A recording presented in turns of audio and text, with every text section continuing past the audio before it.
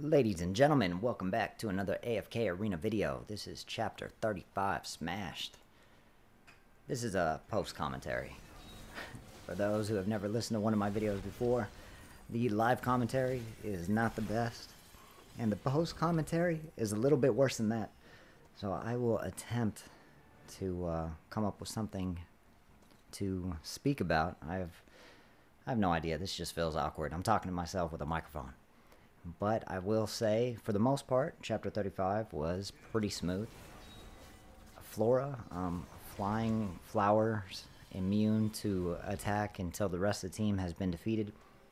That turned this run into, I believe it was six, six to six and a half hours.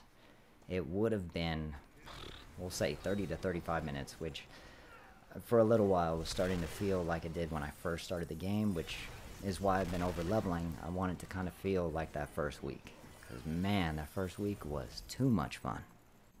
So, for the teams, we were running full Light Bearer, which was Lucius, Rosaline, Fox, Rowan, and the best, easily, hands down, the best DPS in the game. Belinda. Yes, Belinda, best DPS. And then the second team.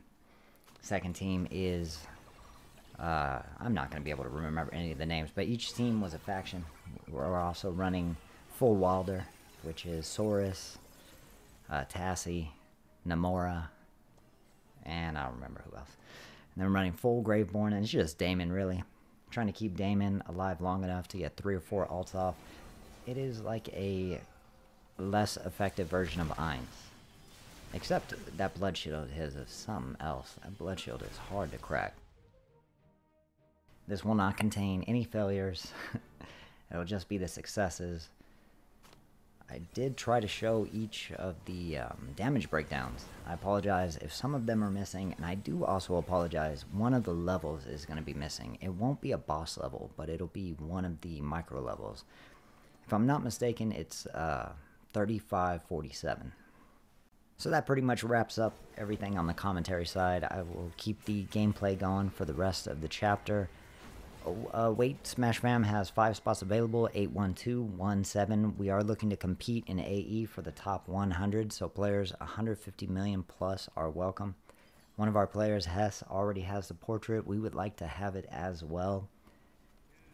I think that's it. Oh, I do have a guide coming out. It is my outlook towards end game, why I think we're going to get to the finish line a little bit sooner. I don't think anyone's going to agree with it, to be honest, but maybe a few players will appreciate the idea. Probably not.